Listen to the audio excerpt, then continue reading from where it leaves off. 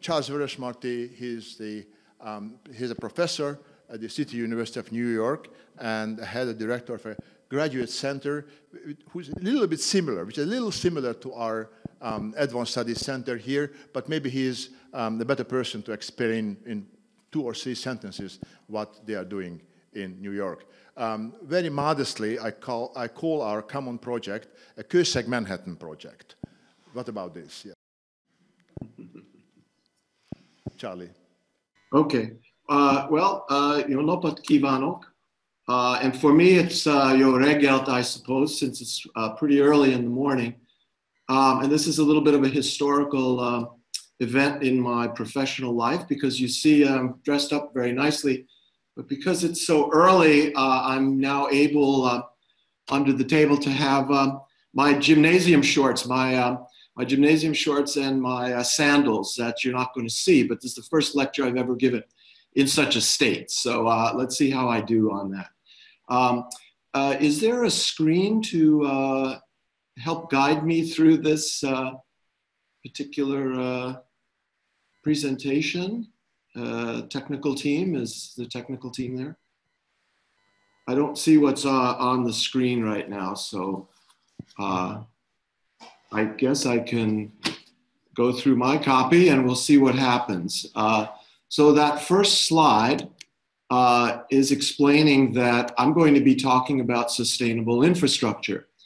Uh, I'm both uh, a scientist uh, and an engineer. And uh, in the world of sustainable development, there's a new idea uh, that's in some sense a, a, rediscovered idea that, that's floating within the dialogue. And that's talking about sustainable infrastructure uh, building towards the sustainable development uh, goals. And there's this uh, idea of being able to uh, take the best of traditional engineering, we call that gray engineering, and combine it with green systems or nature based uh, types of engineering. And I'll explain this as I go forward. Let me also say that this lecture is very much as I would give a lecture to any scientific uh, body, any scientific conference. And I'll do my best uh, to try to explain some of the details. They may look a little bit complicated, but I'll try to distill them in a way that uh, will be intuitive uh, to us all. Uh, next slide, please. Can we advance the slide? Um, this um, somewhat uh, clipped diagram uh, is a reminder to me of the importance of some early thinking. And back in the 1960s and 1970s, uh, there was an ecologist named Howard Odum. Uh, he published quite widely. You can find these uh, documents uh, in any library or in any ar electronic archive. And um, he was in the business of trying to bring together uh, energy dynamics, economics, uh, in ecosystems and try to formalize that. And uh, what he was able to do is he was able to lay out these principles, which, uh, as I go back and read th this literature, I, I think are uh, quite uh, appropriate for the discussion of the sustainable development goals. And I'd like to just take a couple of excerpts from a paper he wrote back in 1973. And I think it will immediately be obvious to us all uh, how this might relate to sustainability uh, planning and design and execution in a region, for example, like Pannonia. So let me read these so I don't miss any of the words.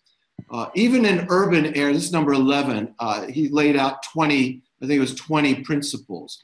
And the 11th principle says that even in urban areas, more than half of the useful work on which our society is based comes from the natural flows of wind, water, waves, etc., that act through the broad areas of seas and landscapes without money payment. An economy to compete and survive must maximize its use of these energies, not destroying their enormous free subsidies. The necessity of environmental inputs is often not realized until they are displaced. Together uh, with this 11th principle is the 12th principle saying that environmental technology, which duplicates the work available from the ecological sector, in other words, from nature, is an economic uh, handicap. So he's really laying out there what you might term the financial logic of good environmental stewardship. And in the intervening years between 1973 and today, uh, those ideas were formalized uh, and become known as ecosystem uh, services. Next slide, please. Um, as a guidepost to this discussion, I'd like to read to you uh, a vision that I and uh, several of my colleagues uh, have crafted. Uh, this is a vision for the year 2030, uh, imagining, as it were, uh, the successful implementation, the successful execution of the Sustainable Development Goals, which are an organizing uh, principle uh, in, in an agreement signed by 193 nation states uh, to develop the world's economy, bring human well being, and protect the environment in a sustainable way. And this is a United Nations initiative. Um, let me read to you this statement, and then as we go through the, the lecture, I'd like to ask you uh, in your own mind silently to be uh, thinking about how reasonable this vision uh, is. So let me give you the ideal uh, world of the future. Let me read this so I don't miss any of the words myself, as I did for the Howard Odum uh, discussion. Uh, the year is 2030, ever accelerating environmental and societal challenges, all operating under the backdrop of climate change and biodiversity loss, are today routinely met with novel solutions. These solutions were initiated within the first five years of the Sustainable Development Goals by early investments that stimulated innovation in water provision systems that rely on the conjunctive use of traditional engineering and environmentally based services. I should mention I'm going to be talking about water today because I um, am a water scientist. Next slide, please. This has provided now universal access to clean water and sanitation. Nation states have committed to the broad scale protection of watersheds, inland aquatic ecosystems, and the life forms they support. This has been particularly beneficial in blunting growing human pressure on water systems from local to global scales. Next slide. Conserving water, appropriately using wastewater, and managing well functioning ecosystems today provides enormous cost savings, liberating investment capital to address other SDG related challenges and sustainable economic growth. The benefits of preserving water related ecosystem services, combined with appropriately scaled gray or traditionally engineered infrastructure, have been harnessed for reliable water delivery. Next slide, please. Success can be verified by early investments, that is before 2020, in advanced environmental monitoring capabilities using state of the art environmental sensing, data and computer simulation systems, which have replaced fragmentary environmental surveillance systems and guesswork regarding water at the turn of the century. A skilled practitioner workforce is today in place, which can rapidly assimilate new knowledge from the water sciences and convert it into practical solutions. Next slide, please.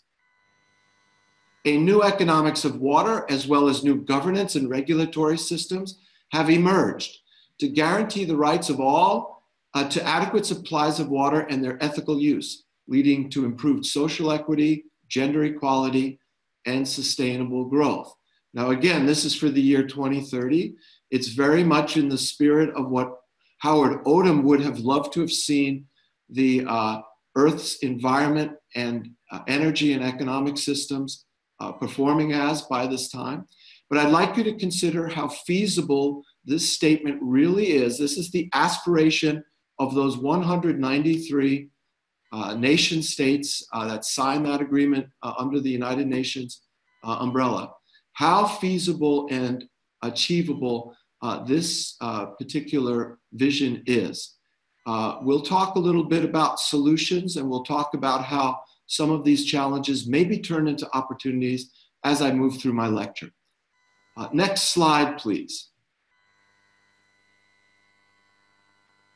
Um, as sort of the first uh, shock to you, perhaps if you don't know this, uh, the first shock that I'd like to uh, present to you is um, the distribution or the geography, uh, globally that is, uh, of threats that have accumulated to our water systems uh, that now move up to being a global syndrome. And the map on the top here is a, uh, uh, an intuitive picture, as it were, of areas that are under very, very high threat to their inland water systems. That's shown in red. Uh, green and blue show lesser levels of threat. This is a measure of how well we are managing the ambient environment and the water systems upon which we rely uh, for our sustenance, as, and as well uh, aquatic biodiversity and nature uh, relies on for a clean and reliable water supply. And as you can see, much of the earth is colored red. Uh, you would expect red to be seen in uh, places like India and China, where there perhaps has been less attention to environmental protection. But yet, in places like the United States and Europe, we are not doing a very good job of protecting these inland waterways from which we draw our water supplies. The reason that this map is, is shown as it is, is because it represents the conjunction of a series of unintended uh, insults, as it were, to the environmental system, arising from poor land management and, and poor watershed um, stewardship, from pollution, from the overuse and maladaptive management of water, and biotic stress agents like the introduction, the inadvertent introduction of exotic species that disrupt ecosystems. Uh, our conclusion is that uh, wherever you have development or rapidly developing areas of the globe, uh, there's very little evidence of good stewardship, even in rich countries where we know how to do a better job, but we elect to do things differently. So, what we evidently do, as we've discovered, uh, is shown in this next slide. Uh, could, could I please have that next slide? Uh, these four maps uh, are uh, organized in sequence here. And what we've done is we've created a map of the source areas for human water supply. That's shown in the top left. And it shows the amount of water uh, that's available in terms of the populations served. Uh, this blue map is sort of the baseline set of colors. Uh, now, if you were to have no environmental services along the lines of what Howard Odum is, was talking about in that second slide that I showed, you would see an Earth that would have not only red, blue, and green colors, but black colors, uh, extremely threatened ecosystems. And the mere fact that we have natural systems, nature based uh, environments uh, that are working for us silently and in the background, we avoid the situation that you see on the top right, which is the potential or the virtual threat. And because of the protected, protective functions of natural ecosystems, what we do see is that threat on the bottom right, which is identical to what I showed you in the last slide. That's what we see in the ambient environment. Now, humans draw from this resource. And as we know, we don't, in Europe at least, and in the United States, live in an area where we have a perception at least that these water systems are so threatened because we engineer our way out of this threat. We create large scale engineering facilities that treat the water if it's unfit for consumption. We stabilize the water in large reservoir and dam systems if they are uh, too variable and we need to store them for later use, uh, etc. And that cost about $750 billion a year. It's about three quarters of a trillion dollars to repair, as it were, the damage that we see uh, in using traditional engineering. And as you can see, we're almost, at least in places like Europe and the United States, uh, we're almost back to where we were when we started at the top, uh, top left. So the, the bottom left is the residual threat that we see. And please notice that much of the South, the developing world, is left with some residual threat in terms of their delivery of water services to humankind. Okay, so this is the new way in which uh, we are now beginning to conceptualize how humans are treating their water systems. And this is emblematic of how they treat other environmental uh, services as well. We impair the system, we break the system, and then we fix it, we repair it. We impair and we repair the system. Uh, and now I'd like to discuss some ways in which we might uh, look to some other resources to help us move through uh, this challenge area. And again, this is $750 billion a year to remediate or to fix the observed threat. Next slide, please. In the future, uh, and in the context of the Sustainable Development Goals, we're going to see potentially a great success story for Sustainable Development Goal number one, which is the alleviation of severe poverty. And these curves that you see on the top right are distributions of annual per capita income, uh, with the vertical axis here being the millions of people exposed to those incomes. And if you follow the blue curve to the green curve to the uh, 2050 curve in red, over a 50 year period, you see this shift and you see the shift in wealth. And there is a very rapid rise in something called the global middle class. And the global middle class will bring with it economic development and economic well being to literally billions of people. So it's a success story for the Sustainable Development Goals. But if we do business as we have done business in the past, as those last two slides I have shown you, if you can please advance the slide, please. Please hit the button. Uh, what you see is that we have more in the map. We have more of the same by mid-century. And for different parts of the globe, we have very rapid rise in the levels of threat, meaning that it's going to become ever, ever more difficult for us to cope with this increasing threat and make water systems uh, of utility to humankind. And the price tag of this is bound to go up. May I please have the next slide? So, how might we tackle this issue? Uh, and uh, in the 7th of August 2015 issue in Science Magazine, and so fairly easy to get hold of. I, I suggest you, you try to take a look at this uh, article. There was a little bit of a debate uh, on the pages of Science uh, looking at how uh, you might uh, execute during the Sustainable Development Goal period uh, water security. Would you rely on traditional gray infrastructure shown on the left, or would you perhaps look at nature-based solutions? again, going back to that idea that, that Howard Odum planted back in the early 1970s. Uh, uh, and, uh, you know, the fact that there's a debate about this means that there's still some unresolved issues uh, within the community. Uh, if you hit the next uh, advance, I'd like to um, show you a couple of examples of what I'm talking about in terms of engineered or gray infrastructure. So please hit the button. Please advance the slide. Uh, the kinds of things that we're talking about are large reservoir systems, centralized uh, water treatment facilities, uh, interbasin transfers that move water from water rich areas to water scarce areas where humans demand the water, large scale irrigation works, things of this nature. Uh, this takes a lot of money, as I mentioned, $750 billion a year in this kind of engineering today.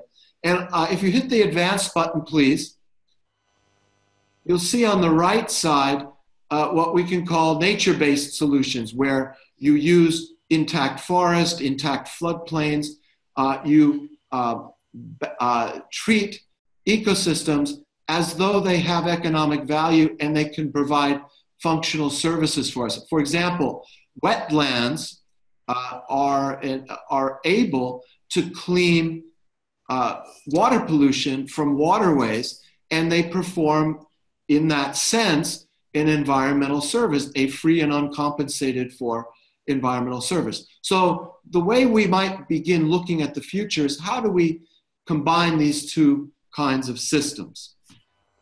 Next slide, please.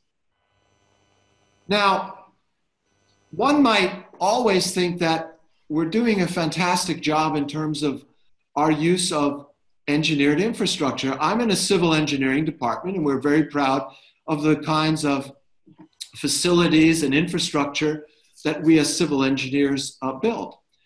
But simply building these systems on the one hand, uh, and on the other hand, not really paying sufficient attention to their uh, planning and maintenance.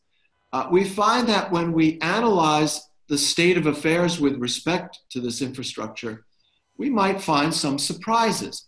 And every two or three years, the American Society of Civil Engineers develops an infrastructure report card.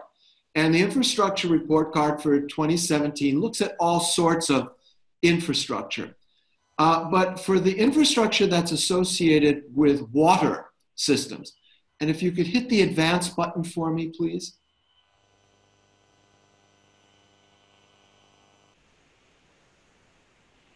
We go forward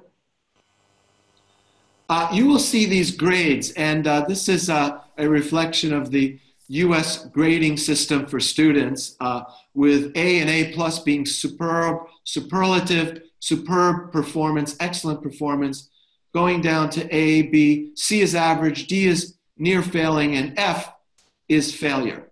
Well, as you can see for these grades, uh, in terms of reservoirs, drinking water, navigation, uh, uh, wastewater uh, treatment, uh, flood protection, we see that in the United States, we're getting nearly fairly failing grades for these kinds of infrastructure.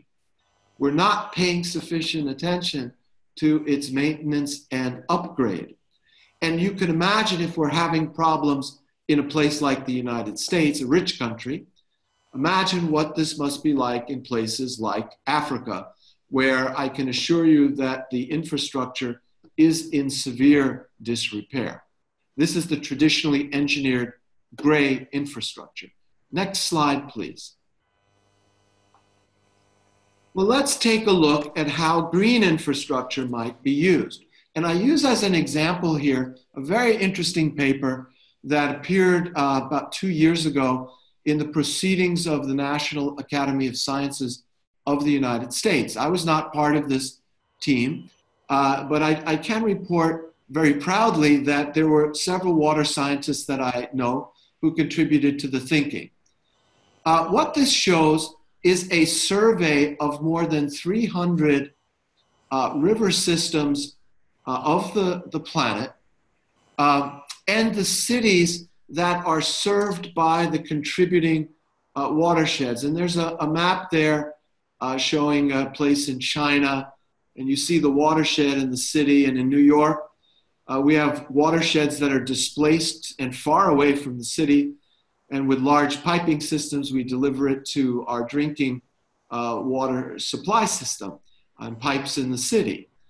Uh, this analysis of more than 300 cities uh, revealed some very interesting results. Now, you would expect in these landscapes and watersheds that serve drinking water supplies for these 300 cities these would be the most well protected environmental assets, environmental landscapes that you can imagine on the planet, because in fact, there is drinking water supplies for hundreds and hundreds of millions of people at stake if you don't protect the watershed.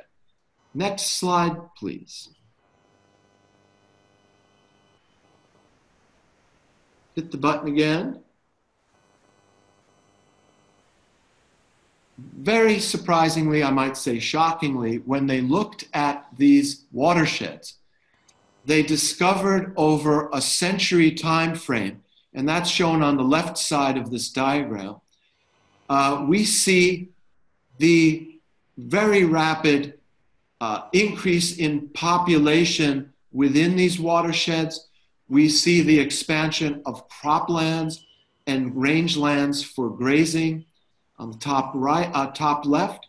On the bottom left, we see nutrient pollution loads and pollution loads from sediments rising very, very quickly.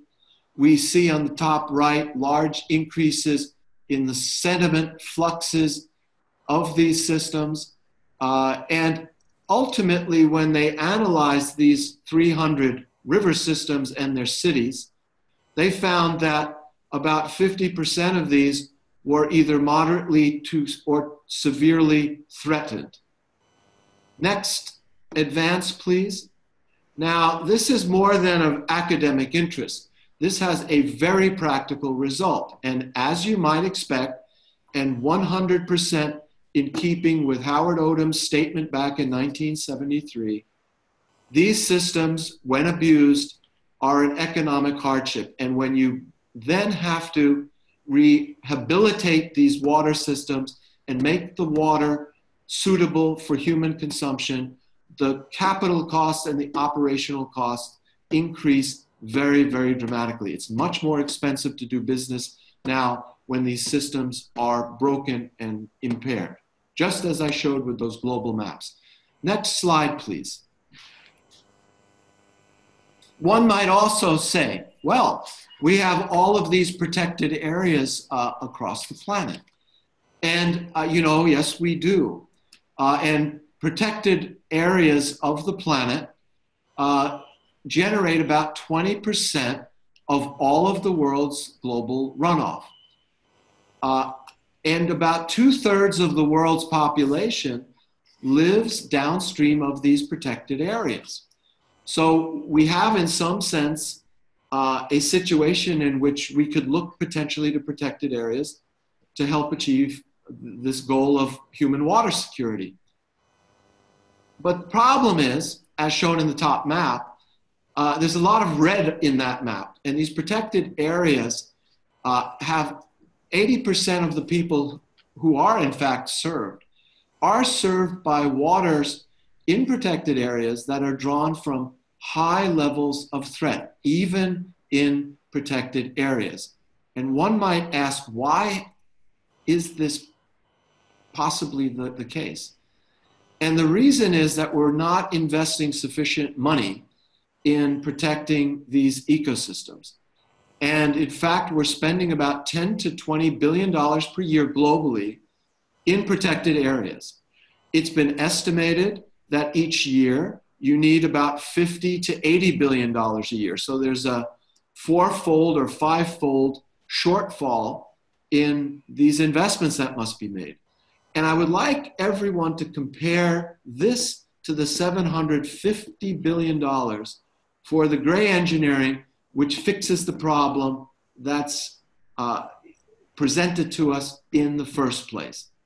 And the whole idea here is that if you protected the system, you would probably not have to be spending $750 billion a year to repair the damage using engineered systems. This is a very key point as we begin to design ways of moving through the SDG era. May I have the next slide, please? Um, one can begin to take a look at how you would engineer both gray infrastructure and green infrastructure together, kind of a a blended engineering, as, as we might call it. And um, you can look here for doing this for clean drinking water supply or for water quality and pollution control. And you have different, uh, as it were, uh, uh, engineering levers to pull. And if you're thinking of, of uh, uh, drinking water for cities, uh, green infrastructure, green engineering would mean increasing the areas for watershed protection, making sure that the landscapes right near river systems are, are protected.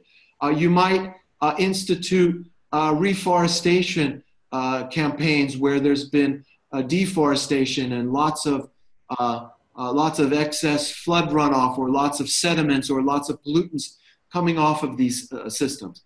Uh, if you were to pull the, the gray engineering or the traditional engineering le- lever, you would modernize drinking water uh, facilities. You would increase the levels of treatment uh, for wastewater, uh, because after all, sewers deliver wastewater to rivers, and those rivers, if the wastewater is not sufficiently treated, becomes the drinking water of populations downstream. So you want to avoid that, that problem. Uh, so, so anyway, there are these different kinds of, of uh, uh, strategies that you might use to blend the green uh, and, and, the gray.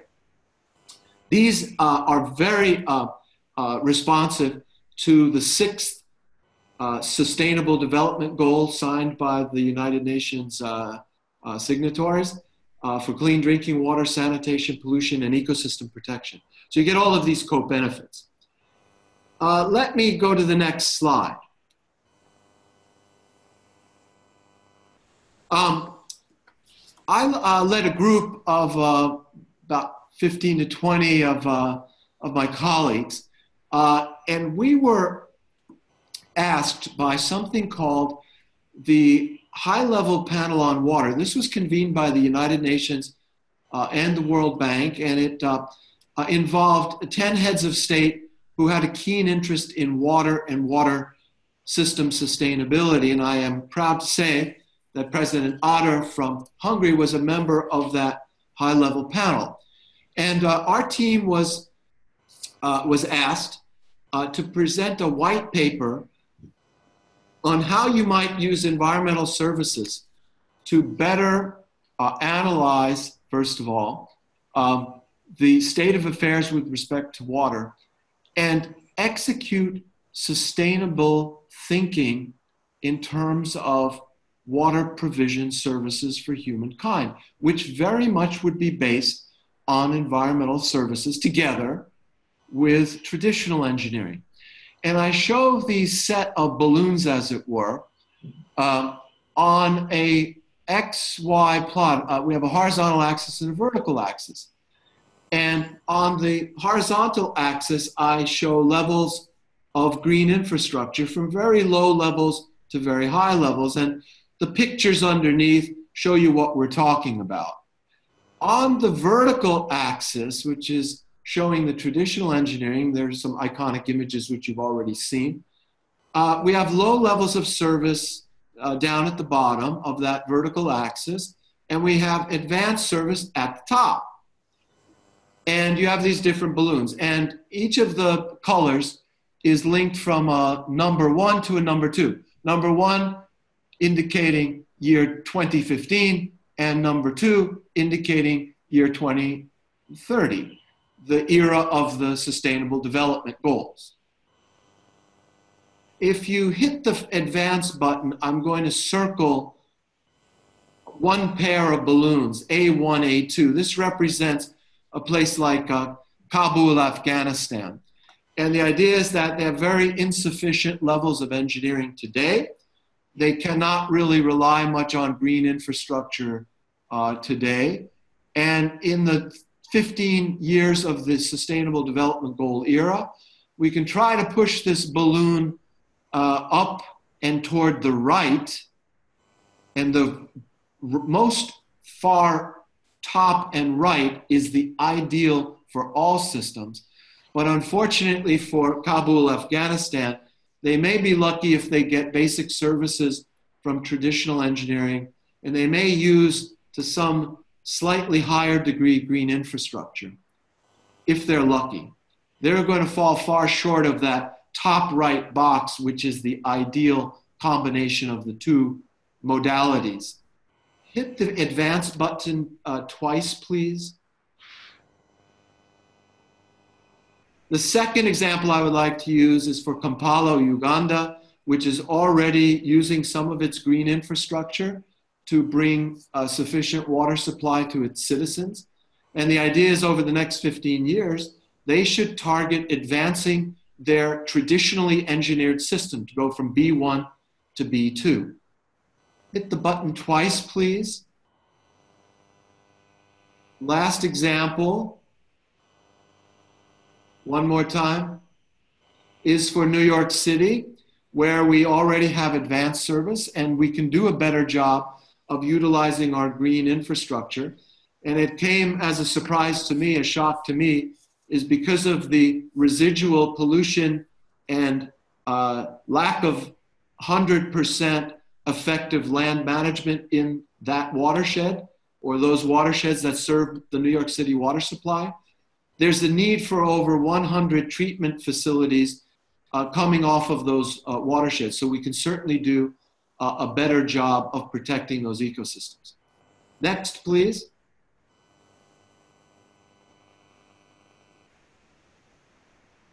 Um, in order for all this to, to really take root, uh, I think it's going to be uh, absolutely necessary to identify new business models to engage the private sector. I think a lot of what I've shown to you today is probably, in some sense, a, a failure, uh, it, it indicates a failure of governments or international bodies to really regulate the state of affairs with respect to our uh, environment.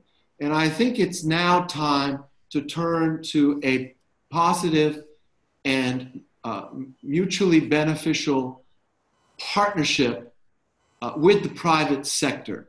Uh, again, I, I, published a paper uh, uh, in Science, it's in the 2nd of February 2018 issue, uh, where I, I, joined forces with some of my academic colleagues, but also uh, asset managers from the UBS Bank uh, and from PGGM, which is a uh, pension fund in the Netherlands. And we wrote a paper about the need for uh, science to provide the appropriate information sets and cues and signals through transparent, traceable, and reliable metrics of investments that the private sector and asset holders could make to uh, provide support for sustainability thinking. And for those of you who are interested, again, I think it'd be easy to get hold of this particular uh, document. If, uh, if not, you can contact the conference organizers and I'll make this uh, paper available to anyone who's interested uh, in it. But I think in the sustainable development era, we have to be thinking about different ways of approaching the problem in the first place. And as an example, this blending of green and gray infrastructure is one very important new way of doing business, but also quite literally a new way of doing business with the private sector and engaging them in this debate is absolutely essential. Next slide, please. Uh, in fact, to make this attractive to the business community, uh, my group at the City University of New York is beginning to develop a set of technologies that would allow the private sector to view opportunities for investing. And again, this is in, in uh, terms of water security and water infrastructure. Uh, and we develop uh, what's shown here as a fairly simple initial calculation procedure where on the top left we can produce a global map. And again, if you're an investor, you might be very interested in looking for areas where there are water problems and where there are opportunities for me to sell my products. And wherever the, the coloration is blue or green, you have a pretty good opportunity to go in there and sell your products because there's a need. That's the top left hand diagram. Uh, lower opportunities would be shown in red. Well, in fact, lower opportunities are shown in the middle diagram. So you take these investment opp- opportunities and you subtract from them these investment challenges as shown in the top middle. And you can see there are areas that of the planet that show up as very, very dark red.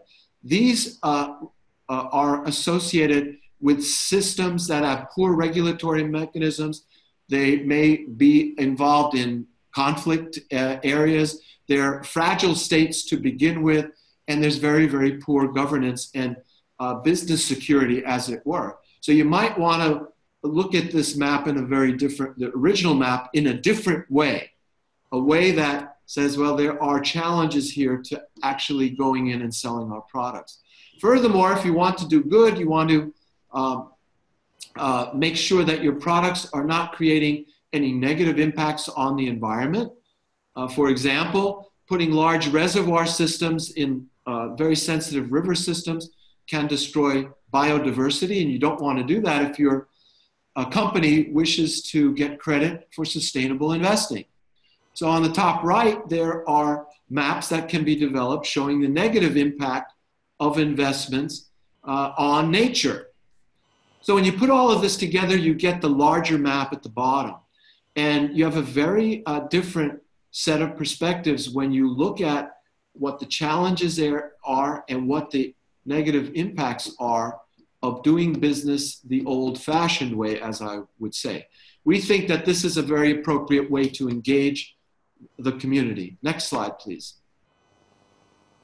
Uh, and this is um, my final slide with diagrams on it. Uh, uh, for those of you who don't know, the scientific community has begun to document something called the Great Acceleration. And these uh, multiple uh, plots on the right uh, show a 250 year time period. And you could see that uh, somewhere around 1930, 1950 or so, we see something called the Great Acceleration, where there's a very uh, important rise in the uh, uh, types of activities that humans are uh, engaged in. And this is at the global scale. We have population rising very rapidly. We have the damming of river systems. We have transport vehicles uh, rapidly rising. The rise of the global economy, water use goes up, paper consumption, telecommunication, uh, international tourism, and even McDonald's restaurants, all going up very, very rapidly, very exponentially.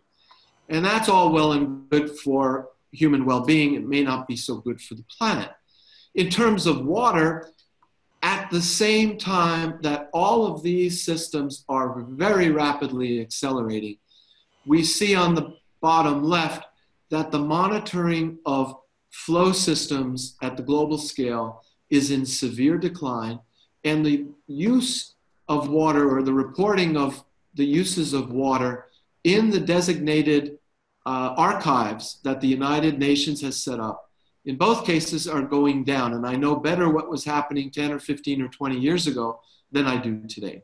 And if you hit the button in the context of this forward, the context of this great acceleration, it's like putting on a blindfold as you're stepping on the acceleration pedal of the vehicle and really not knowing where you're going. And to me, it's quite amazing that we've not invested in these monitoring systems. And again, uh, governments have not done a great job. Perhaps the private sector will help us to revitalize this very, very important resource in terms of understanding where we have been, where we are, and where we're going. Next slide, please. So this is my concluding slide, and then I'm going to switch gears uh, uh, and talk a little bit about how this relates to Pannonia. Uh, so there's substantial financial losses from these uh, impaired ecosystems uh, I've shown you lots of evidence, I think, for that.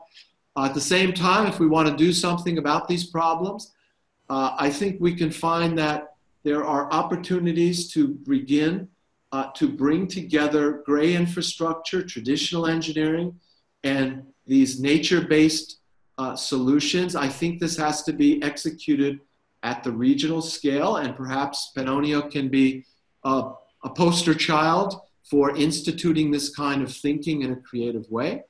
And then uh, uh, finally, uh, the key is going to be to create and incentivize business models that emphasize these very solutions that we're talking about. Uh, next slide, please.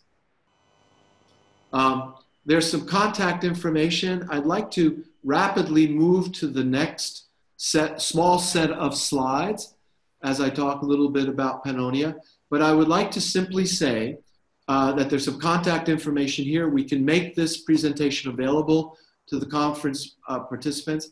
And on the bottom right, I make an announcement that with the OECD and the UN World Water Assessment Program and a group called Water Future, um, uh, academic uh, uh, organization that's international in its uh, scope, we're forming a working group to uh, better articulate these ideas, and we're always looking for uh, willing partners to participate with us in that effort. Again, let's make this uh, uh, slide and the rest of the talk available to the participants. I'd like to move rapidly to the next uh, small set of slides. Um, thank you very much. This is um, a very, very substantial contribution. But, but for our audience um, were not here for years, two years ago when you um, András Szőlősi and Janos Bogardi and many other colleagues had an interesting workshop in our, um, in our premises in the Europe House.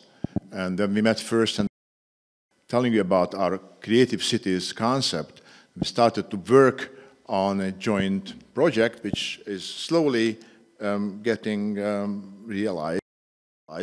So the connection between um, your research and our research is that we're not only here in Kőszeg and at iASK. They're not only interested in um, beautifying an old, beautiful, but a rundown city, or, or looking for cultural heritage, or remodeling old buildings, or doing interesting research on philosophy and history and, and, and poetry, which is Uh, music is very important in order to reinforce the identity of old historic cities like Kőszeg, Sopron, Veszprém, etc., but also interested in the connection between the hard factors, like economic sustainability and ecological sustainability, and on the other hand, cultural heritage type of sustainability make societies sustainable, how to convince people um, to stay where they are and to contribute um, to the city and as environmental sustainability. So this is the kind of link which will be elaborated during the conference. I'm not going to talk about this, um, but a small project grew out of this that was initiated by by Professor um, uh, and we had a discussion, and we invited Professor Hillary Brown, who actually made the skits, a kind of a a sketch about how to create Kőszeg and its sustainable from an economic point of view. And this is a very interesting point, how to make a connection between global issues, water supply, ecological problems, and very, very local problems, okay? Charlie's back. Um, so again, I showed you global maps, uh, which uh, are in some sense a an important ingredient of our thinking because what it does is it, it, it paints the overall picture and it enables a context to be developed for any area of the globe we wish to focus in on. So now instead of looking globally uh, at um, uh, tens of thousands of kilometers of, of, of uh, linear uh, space, we're now looking at maybe 40 or 50 kilometers of linear space as we look at uh, Pannonia and some of its connection to uh, Austria and the drainage basins in terms of water that feed into the system and define its character.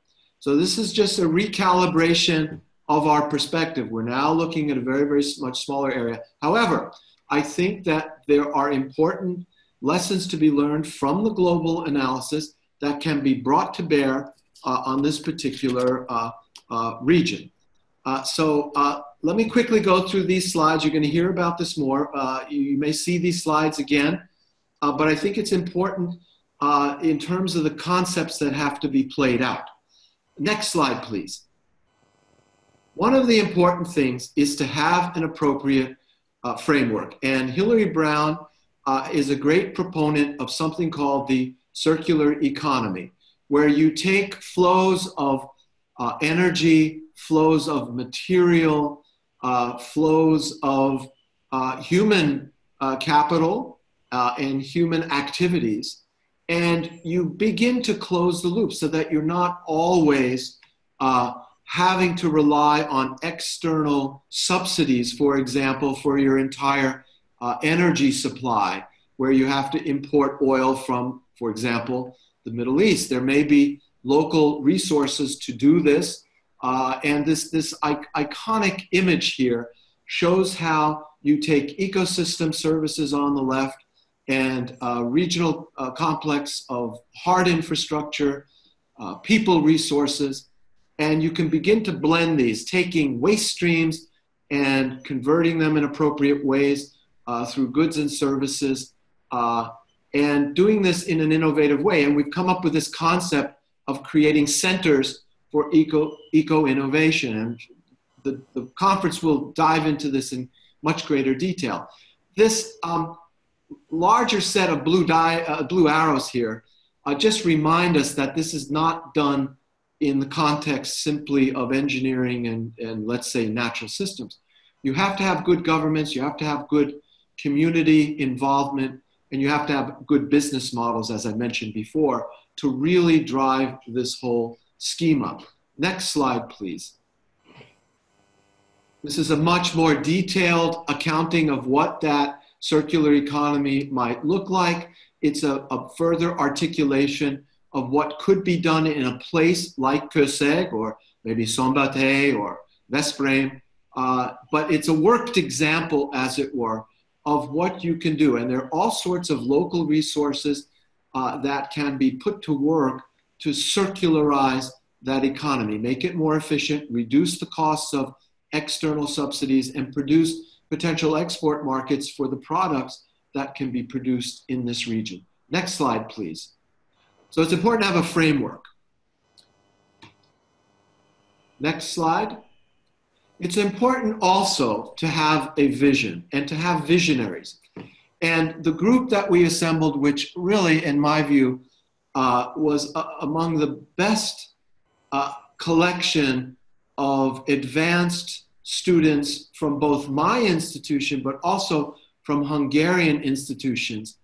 Uh, and to watch these students work together and create a vision, and a vision created in large measure by these young people who are going to be living the vision uh, is, is really quite something. And, you know, I read you my vision statement uh, at the beginning of my first talk, but this, in some sense, is a visualization of a more localized vision of what something uh, uh, like, like this facility envisioned for Kőszeg could really be about. And the students have these visioning processes. So this is just one of the uh, uh, one of the starting uh, points. The next slide shows how this might be converted into something a little bit different with eco incubators and uh, gastro enterprise, as we might uh, call it, farmers market, aquaponic greenhouses, and this will be explained later as the, the conference goes along. Uh, and, and really beginning to convert the old infrastructure into a new kind of infrastructure. Next statement, uh, next uh, uh, slide, please.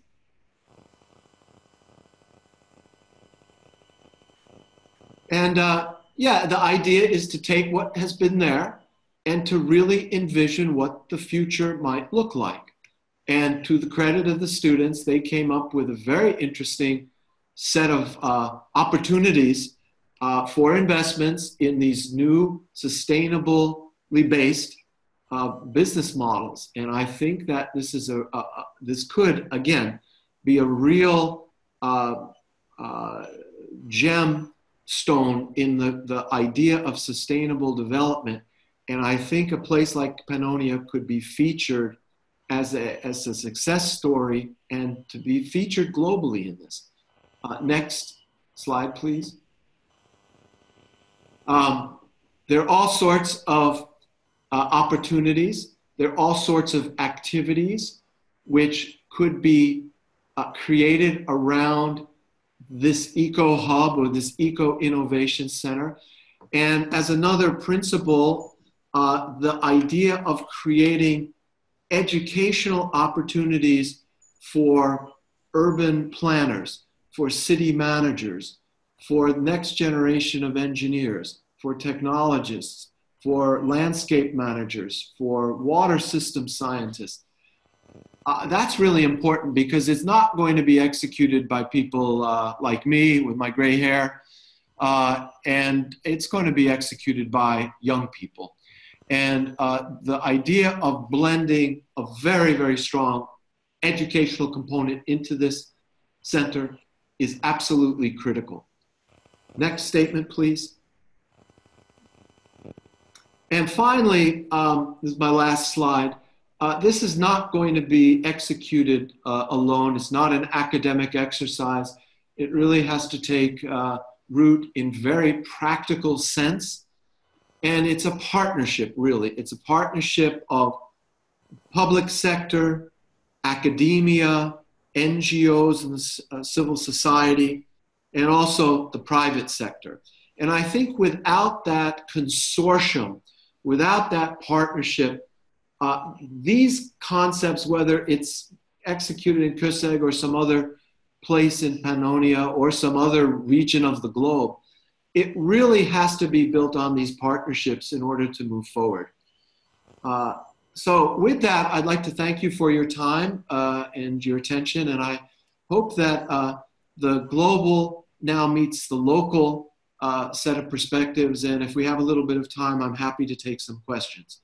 And I'll be on the line uh, as necessary uh, for however you need me here. Thank you.